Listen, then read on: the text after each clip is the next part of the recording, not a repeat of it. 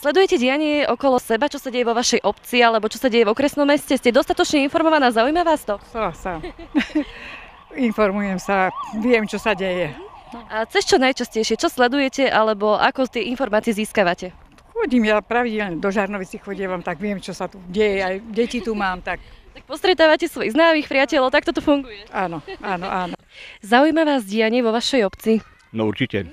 Ak áno, odkiaľ teda sa čerpáte tieto informácie, čo sa deje a odkiaľ ste pravidelne informovaní? No z obecného úradu väčšinou. Lebo pracujem pre obecný úrad, takže z obecného úradu. Takže vždy máte tie ako najnovšie informácie hneď z prvej ruky. Áno, presne tak. Áno, viem o tom prvý. A čo sa týka iných informačných kanálov, povedzme, sú tu ľudia dostatočne informovaní vopred alebo o, to, o všetkom, čo sa tu deje? No tak určite, tak v- funguje mestský rozhlas, e, internetová stránka, kde sú tieto aktivity, alebo teda aktivity obecného úradu, alebo celkové informácie podávané momentálne ako, alebo ako, ako poviem slovensky, že e, nie sú to nejaké informácie, ktoré dostávajú ľudia neskoro. Majú čas, len e, niektorí nemajú ani záujem ani o to a tak, viete, to je ťažko povedať, no. Máme skúsenosti s, s týmito aktivitami, ale je to bieda, no. Niektorí ľudia šomrú, nič sa nerobí, ale keď sa vlačo robí, tak neprídu radšej, no. Takže je to všetko o tom. Zaujíma vás dianie okolo vás, že čo sa deje možno vo vašej obci, vo vašom meste, keď sa niečo deje? Zaujíma vás to? Áno. No, niekedy. Áno.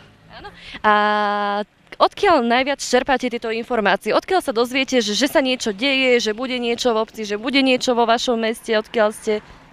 Od kamošov alebo rodičov. Oznámy. Z rozhlasu.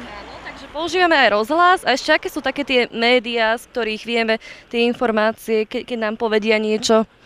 Niekto si kúpi noviny, niekto si pozrie televízor, alebo čo sa ešte dá také používať na vyhľadávanie informácií?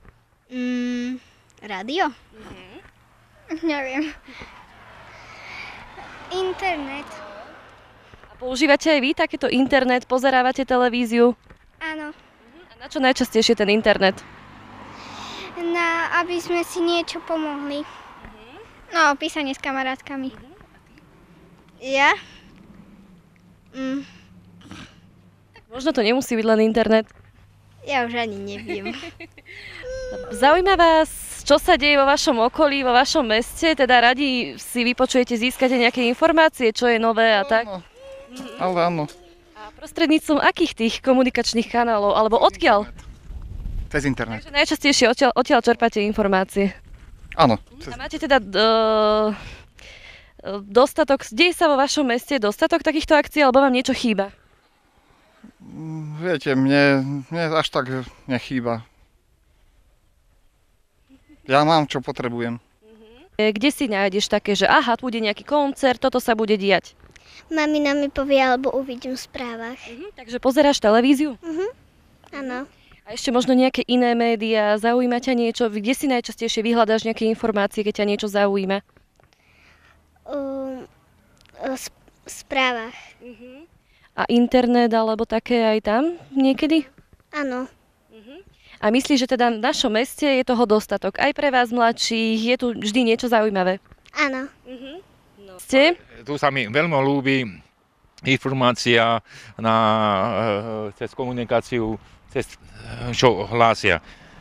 Takže informácie čerpáte najčastejšie cez rozhlas, keď počúvate? Cez, cez rozhlas, no, ale tam sa dozviem všetko, kto zomrel, a kde je aká akcia, a kto čo usporiada, alebo dôchodcovia a takéto veci, no. No.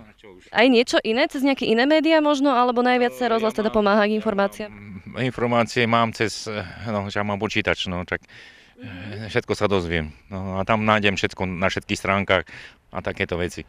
No, čo už mám povedať? Takže využívate rozhlas a internet, to sú takí naj, na vaši pomoc. Cez internet som väčšinou skoro napichnutý skoro 8 hodín. Teraz momentálne ale. No.